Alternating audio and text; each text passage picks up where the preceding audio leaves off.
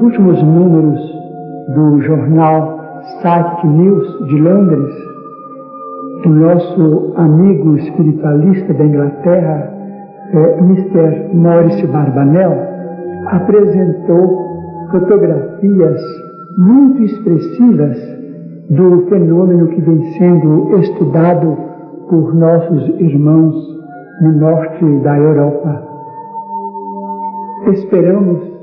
que, com o amparo da divina providência, através dos grandes beneméritos da humanidade, cientistas desencarnados, estudiosos que continuam interessados no auxílio ao gênero humano, possam amparar, inspirar a nossa ciência na positivação da existência do corpo espiritual, o modelador do nosso corpo físico, até porque só pela existência dele, do mediador da vida, que é o perispírito, o corpo espiritual, enunciado por nosso caro amigo Dr. Hernani Guimarães como sendo o corpo bioplástico, só por intermédio do corpo espiritual poderemos compreender ocorrências orgânicas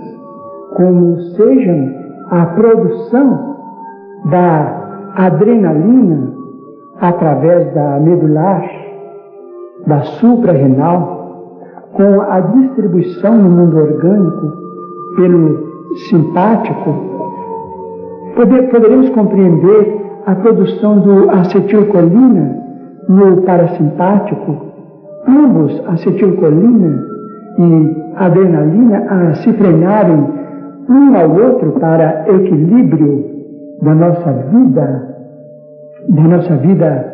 física, no padrão de robustez e de equilíbrio desejáveis, só pelo corpo espiritual poderemos compreender a existência da bradicimina no mecanismo da dor e tantos fenômenos neste mundo prodigioso que é o nosso próprio cérebro, cabine maravilhosa, dentro da qual, ou por intermédio da qual, a nossa mente pode viver e se manifestar. Cientistas, alguns deles disseram que a mente não tem existência sem a organização física. Nós pensamos, estamos absolutamente certos